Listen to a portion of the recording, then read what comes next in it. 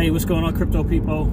It is your boy, the Crypto Ceej, with another day in the life and the crazy life that is cryptocurrency. What is going on, guys? Just wanted to uh, just wanted to shoot a quick video about this article that I came across the other day. Thought it might have been yesterday uh, from Bloomberg, and uh, stating that XRP was a pump and dump scheme, a pump and dump scheme. Have you guys seen this article? If you have, please let me know in the comments. Tell me what you think about that. Uh, I thought it was interesting that it was by, the article was written by Jason Bloomberg.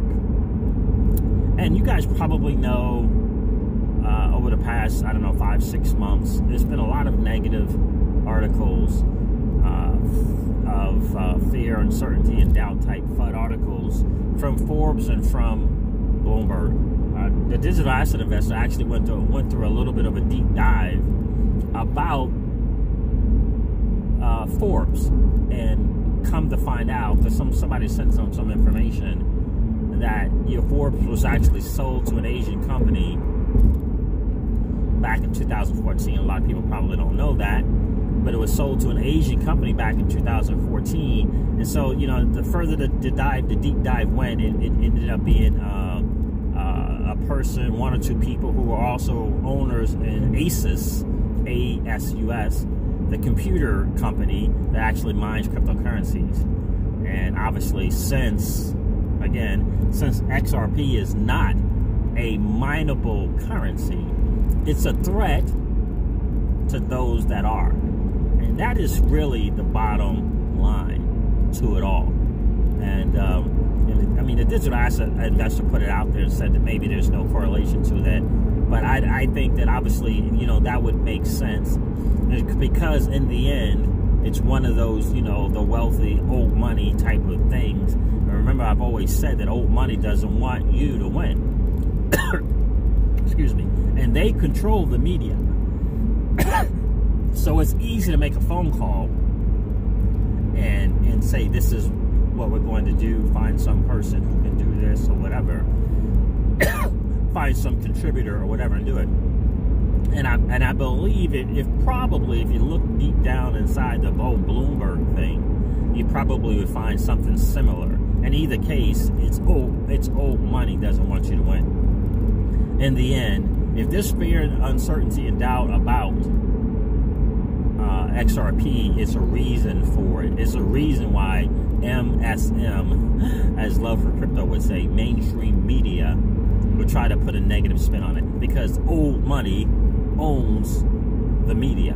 That is the bottom line. But I do think that there is a, a kind of a proof of work type of thing and uh, XRP, and, and, I think there's you know there's there's reasons for the people and the P proof of work camp to be a little threatened because of uh, XRP, obviously that is that's just a real deal. Competition is just competition. That's just how the world works. And there, if there's going to be something that's threatening threatening them, you know, they're going to put this stuff out. So obviously, there would you know, Bitcoin was first, so there was they have this first movers advantage, and there are people who are heavily and invested in it, and they now realize that XRP is a massive, massive massive threat. You know, you can't look at, you know, all the articles with Brad Garlinghouse and, and, and people from Ripple and, and IMF and, and you can't you can't feel uncomfortable when you see the company Ripple being mentioned in executive orders. Christine Lagarde is going around and mentioning that, mentioning Ripple in the digital asset. Never mentions uh, uh, the any any proof of work coin right? There's a reason for that. And so they obviously know that there is a threat there. They obviously know there's a threat there. And here's the other part of that as well that is disconcerting. And, uh, you know, I want you guys to kind of really, really get. Never ever forget the Jamie Dimons of the world. Never ever forget that. You, you have to always remember that narrative. And that is they will FUD, they will crap on something to scare you out of it while they accumulate it. You gotta always remember that is in their tool belt. They will do that. And so, you know, don't think that it's just Jamie Dimon. It's, you know, it's people behind Forbes. It's the people behind Bloomberg. Never ever forget that. And they're trying to scare people out. I, when I saw this pump and dump scheme, I'm, surprised I haven't seen a video from the people in the XRP community about it yet. Um, I think it's interesting, and I, am and, and it's perhaps for this reason. Uh, and I thought about this yesterday. You know, the way the internet and things work, you know, the more you click on it, the more it's seen, the more it's viewed, right? And so, like, a lot of times when you Google and, and, try to do some homework on something, because you're searching it, it becomes more available in the search. It gets higher up there in the search engine, becomes more clickable, people clicking on it to learn more about it, and it becomes more and more and more and more and more viewed. And so, the idea is you can kind of expose. Uh, you can expose these people without having to click on their website and go to the particular article. And I and I and I saw something from Love from Crypto uh, this morning. Now the title is interesting. The title is if you think XRP is a scam, something. You know, I think it was some kind of curse word in there, and it wasn't from Curtis from the other guy. I think it's Scott. Uh, that does the videos walking around. I love it. Does the videos walking around Gary Vee style, and um, and I think the reason why he just he kind of put it in the title and never referenced the magazine is so that you know a bunch of people from the XRP community don't go on the site, don't search it, don't search it, don't go on Google and try and find it because the more you do that, the more you search it, the more you go on it, the more it becomes exposed. It gets up higher in the search engines, blah blah blah. There's a term in marketing, uh, and I forget what that term is, what that is called, and so that's probably why they didn't do it. The guys from Love for Crypto know that. But um, because you know, again, you don't want to click on it. If you click on it, it becomes more. It gets up there more and more people kind of see it. And you know, we don't want to promote this negative in, in, in that case, in that sense. We can expose it. We don't want. We want to promote it. So I'm thinking that's probably what the guys from Love from Crypto were doing. But in any case, very very interesting. Uh, and I'm reading this. I'm. Re- I didn't get even a chance to read the article in detail because uh, I was uh, I had some business. We were out of town uh, doing some uh, some business stuff and couldn't really deep dive into it. But I did think, you know, you know, do I really want to click on the article? Do I really want to, you know, whatever, whatever? Because I know that game and how it works, and that's probably the same reason Love for Crypto did what they did. And so just kind of expose that. But just understand there's a reason for that. There's a reason for the fun. There is a reason for it. Right? And we all know that the, the XRP is the most liquid asset the world has ever seen.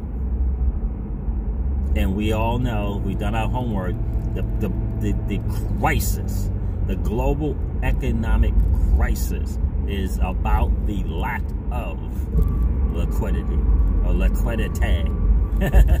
As my dude from Love for Crypto would say. Uh, so, so we know that, and so there is a threat to it. There, there's a threat to, you know, the people who uh, are in the proof of work coins. XRP is a massive threat, no question about it. And so the idea is, don't let that scare you. Don't let the, there's a game being played here. And old money knows that they have money and they have time. They have money and they have time to wait. They know that. They know that. And so they are trying to scare you out of your digital asset. And if you're an XRP holder, the greatest digital asset ever created. They know that. They know they can play the waiting game. You know, so you got to get that that's the game. And you have to resolve, just like Love for Crypto says, live long and hodl you have to you have to resolve that that's what you're going to do. You know, that's the reason why we do these videos is you know, that's why the XRP community has so many people, content creators doing videos, is to inform the uh, uh, to inform the regular Joes and the regular Janes, us, what's really going on. That's why the digital asset investor is doing his thing. That's why Sam I am to the lifeboats to the lifeboats is doing his thing. That's why Love for Crypto is doing their thing. That's why SPQR Media is doing their thing, and CKJ and Backup Brad Kimes and Alex Cobb and DM logic. It's a re- that's a reason. That's why we're doing this. That's why we do what we do. Because we got to hang in there. We got to stick together. Because old money doesn't want us to win. Never, ever, guys. Never, ever forget that. Never, ever forget that. So that's the game. That is the game. And understand that they're trying to scare you out of your money while they accumulate. That is the game. That is the game. Because trust me when I say this, the IMF and an executive order from the President of the United States would not be mentioning Ripple and or XRP if it wasn't the absolute answer or part of the absolute answer to the global economic crisis. Why would the IMF mention Ripple? You gotta think about that. You gotta think about that, guys. So, anyway, guys, so here's the deal. I'm gonna wrap up. I just want to tell you again that old, never ever forget that old money doesn't want us to win. They want us to remain a cog in their perpetual wheel of training our trading our time for dollars. Never ever forget it. We are in the midst of the greatest transfer of wealth in the history of man. This is, guys, this is our time. Don't let anyone tell you that you can't let your money work for you. Don't let anyone ever tell you that. Don't fall into this mindset of you got to do this grind thing. Not that anything is wrong with that, but what I'm saying is you can leverage your cash flow and have your money work for you. We are in the midst of the greatest transfer of wealth in the history of man. Are you participating or are you standing on the sidelines?